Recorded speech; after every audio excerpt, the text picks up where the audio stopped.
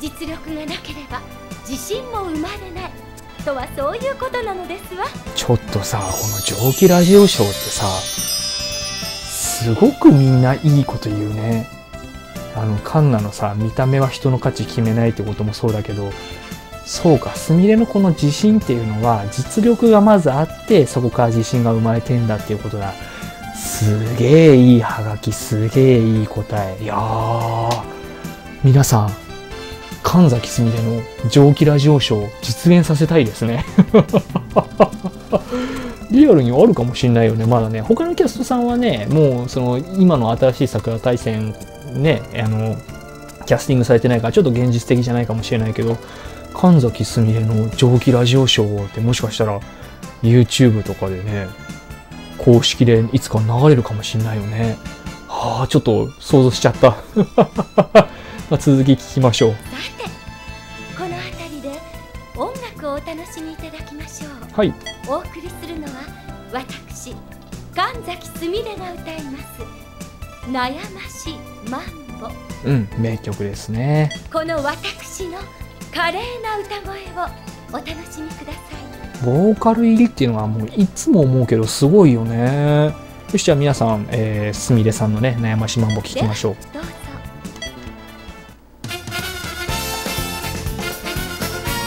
ほど子供の時の写真から入るんだな。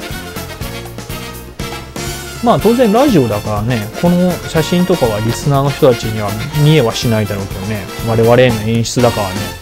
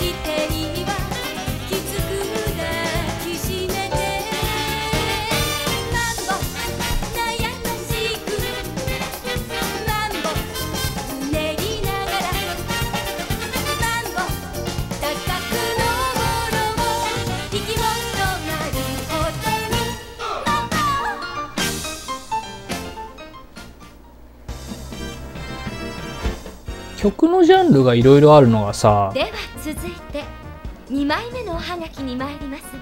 一番最初の花組のね一つ魅力だよね。6人の曲のジャンルが全然違うもんねそれぞれね。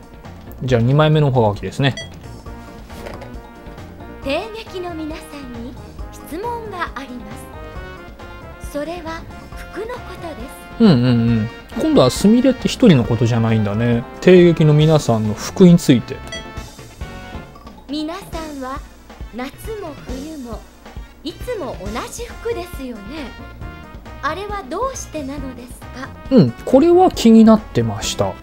あの2になるとね夏服冬服っていうシステムが出てきますしね。あの豪華絢爛とか見るとオリジナルでねまたさらに別の服とか見えて見せてくれるけどね。本当に一年中同じ服でマリアなんて暑くねえのかなとかっていう感じするもんね。もぎりの大神さんや椿ちゃんは制服だから良いとしても。うん確かに。そうかそうか。言われてみればそうだね。あの椿ちゃんのあれ制服なんだね。じゃあ椿ちゃん以外の売り子さん。あでもつぼみちゃんは服違うもんなもうまあでもいいやつ次聞こおしゃれなすみれさんや花組の皆さんが同じ服というのはおかしいと思います。うなるほどね。これいいハガキだな。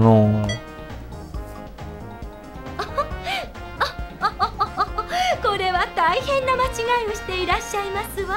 おちょっと面白そうな入り込みだね。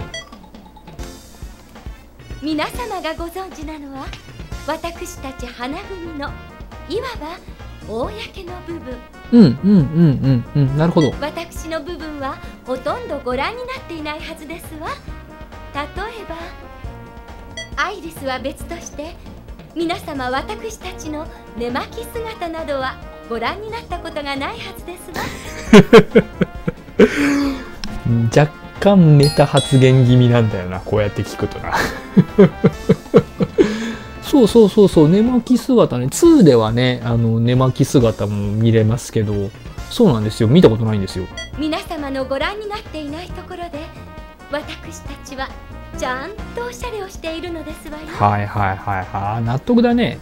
そうか。大神さんという立場って言えばいいかな。だからこのここでいうハガキを送ってるのは当時のプレイヤーさんたち、えー全国の大神少尉、えーが、えーなんで一年中同じ服を着てるのか。答えとしては、えー見える部分はごく一面ですよってことが。あー納得。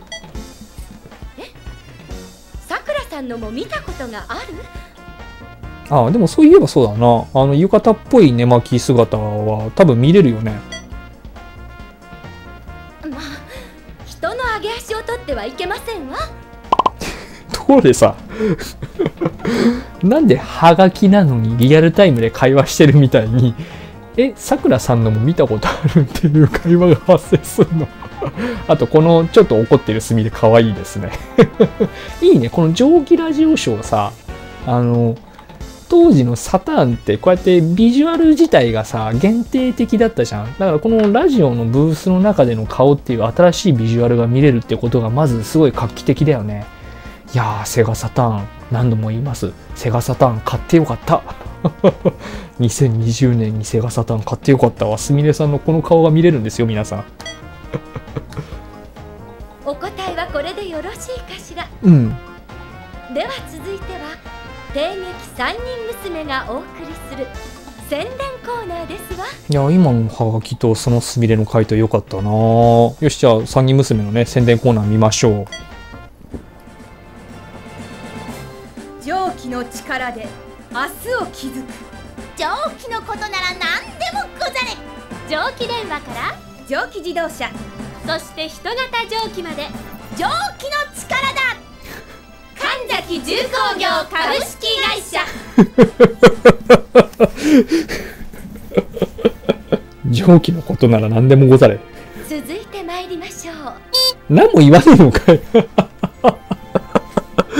何も言わねえのかいそしてちょっと思っちゃった。神崎重工がスポンサーってことは、すみれ。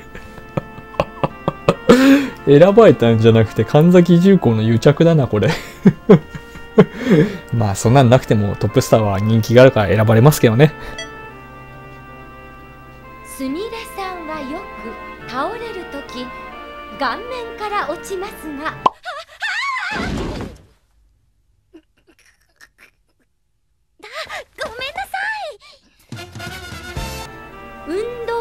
神経が鈍いのですか？違うよ、あれ。顔から倒、あ、でも、そうか、手で受け止めりゃいいもんな。運動神経に、あー、わかんねえな。泳ぎは微妙だからな。溺れたりとかするからな。でも、なぎなたやってるぐらいだから、そんな運動神経鈍いわけじゃないだろうしね。舞も綺麗だしな。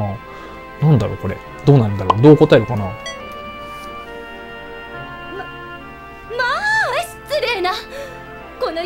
問にはお答えする義務はありませんわ 終わりかな。とはいえせっかくラジオの司会としてお答えしているのですからうん。お、ちょっとなんか、雰囲気変わったな。やはりお答えいたしましょうへー。私こう見えましても神崎風神流の免許改伝ですのよそうそうそう。免許改伝されるぐらいだからね。それに洋風ダンス免許改伝でもありますから運動神経が悪いわけありませんわそっか。洋風ダンス免許改伝っていう設定忘れてたな。どうしても神崎風神流免許改伝の方がね、あの先に立つからね。うん、そうそうそうそうそう。これもあるんだよね。知ってた知ってた。忘れてたな、でもな。あれはさくらさんやかんなさんがお衣装の裾をお踏みになるから。でも手からね、ちょっと受け身っていうか、こう、床を一回押さえることはできるよね。あら？うお時間ですの？あらーもう終わりか。あっという間だな。残念ですわ。もっとラジオの前の皆様とお話ししたいのですけれど。うんうんうん。いやなんか本当に早く終わっちゃったね。ですがまあ私と会いたいとおっしゃる方は帝劇花組の公演にいらっしゃればいつでもお会いできますから寂しくはありませんわね。まとめ方がうまいなすみれさん。すごいね。それでは今日はこの辺りでおいとまいたしますわうんいやあっという間だったな。もう終わっちゃうか。なんか寂しいね。私神崎すみれがお届けいたしました。蒸気ラジオショー。またお会いできる日を楽しみにしておりますわ。なおその時も司会にはこの神崎すみれ神崎すみれをご指名いただきますよう。よろしくお願いしますわね。うん。練りながらあんなこと言ってたけどなんやかんや指名されて嬉しかったんだろうね。